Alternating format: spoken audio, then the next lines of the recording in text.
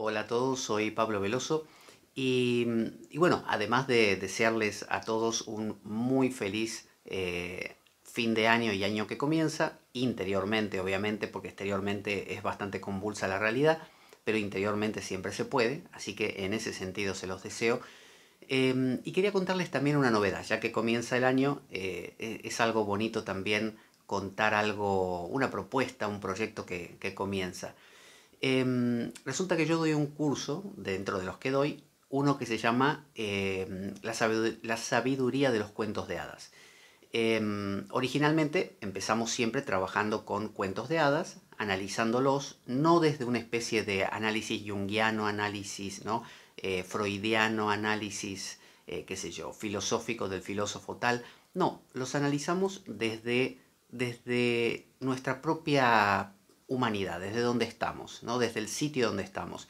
O sea que no hace falta ser ni, ni estudioso del autor, ni nada por el estilo. Simplemente leemos ese texto, ese fragmento muchas veces, porque vamos de a fragmentos, y, y, vamos sacando conclusiones sobre qué pasa en ese cuento, por qué pasa lo que pasa, los personajes por qué hacen lo que hacen, y luego también hacemos una reflexión hacia nuestra vida, ¿no? aplicándolo al mundo, a la sociedad, y traemos a colación de todo, películas que hemos visto, libros que hemos leído, cosas que nos acordamos para enriquecer eso. Bueno, este proceso originalmente yo lo propuse para cuentos de hadas, pero resulta que me di cuenta que cuando hacemos este curso fácilmente vamos derivando a otras literaturas.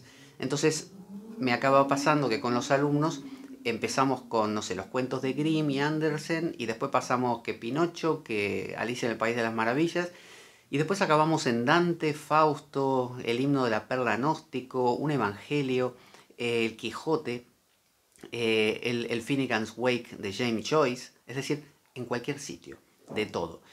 Eso lo que, lo que pone en evidencia es que eh, hay mucha riqueza en toda literatura, pero no porque la literatura la contenga, sino porque somos nosotros. Eso es lo importante.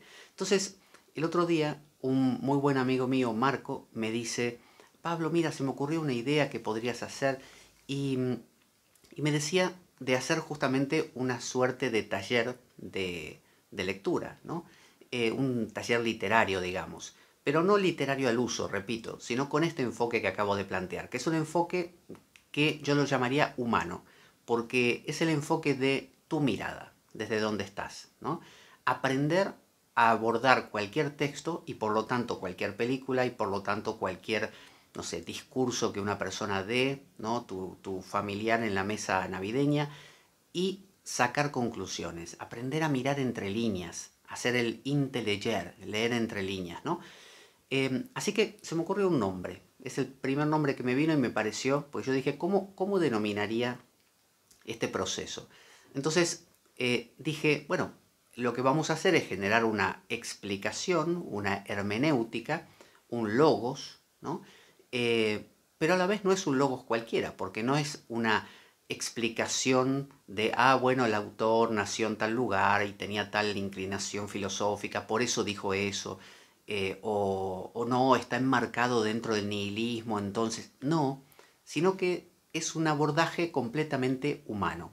Entonces yo dije, es creativo, o sea que, porque es lo que me pasa en los cursos eh, de, cuentos de hadas, cada vez que vamos a abordar una de estas literaturas, salen cosas que la propia, el alumno dice o la alumna dice, qué increíble lo que saqué de aquí, ¿no? Lo que sacamos, lo que saqué.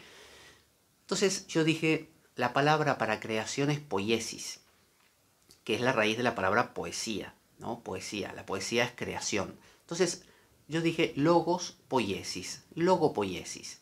Después lo busqué a ver si existía, o sea, quiero decir, a ver si alguien había usado esa palabra y descubrí que Giorgio Agamben, un gran filósofo italiano, eh, en uno de sus libros había utilizado esta palabra. No leí ese libro, lo leeré pero, pero bueno, estaba esta palabra. Así que dije, bueno, ya, hay alguien que la está utilizando, bienvenido sea. Así que eh, la propuesta sería esta.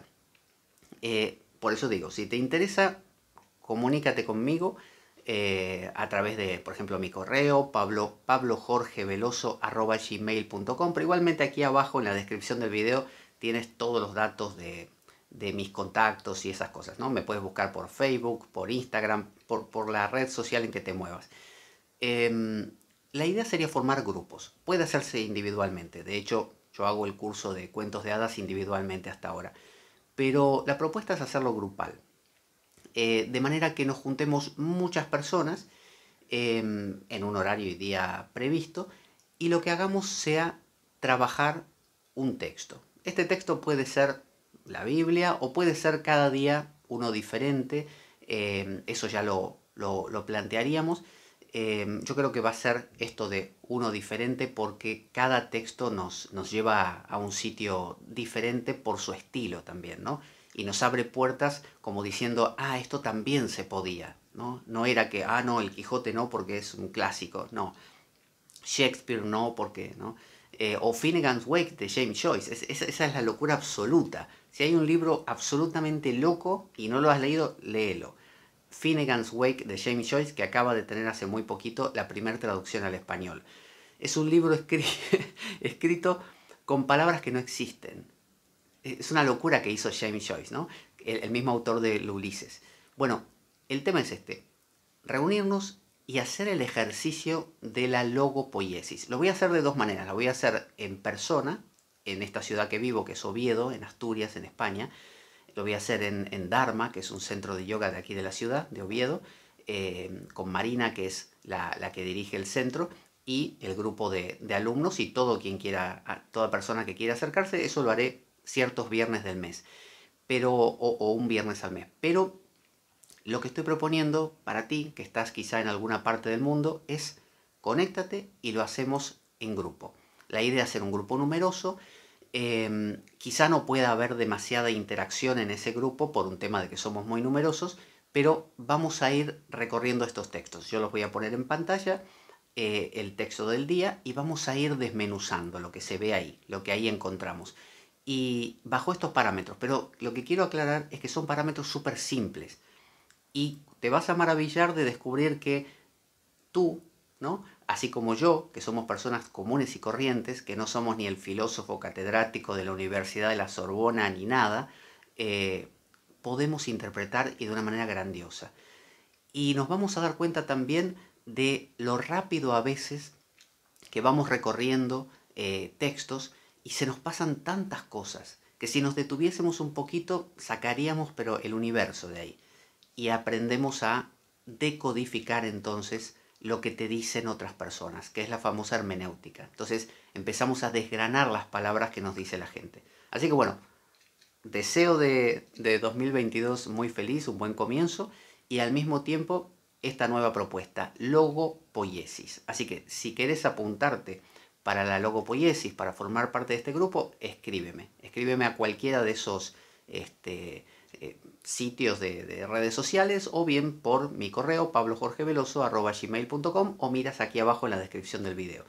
Y, y, te espero. Nos vamos a divertir un montón, no hace falta conocimiento previo, no es para catedráticos, es para gente de la calle, como tú y como yo. Así que un súper feliz fin de año y un magnífico comienzo de este año 2022.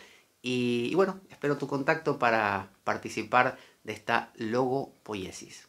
Hasta pronto.